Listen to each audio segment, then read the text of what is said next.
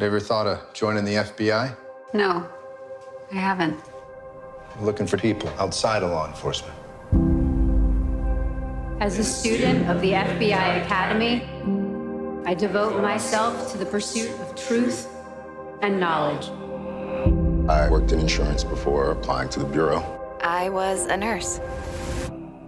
You don't know me. No, but I will. I've had good classes, but I never had an exceptional one. I'm so glad we're in the same class. So am I. We got to look after one another. Toast, class of 09. Class of 09. The Bureau claims to want different types of people. So long as we all do the same thing. Open up! I've changes to the way the Bureau operates. We don't spy on our own. Sometimes we have to. It's not your job to protect me from the world. That's my only job.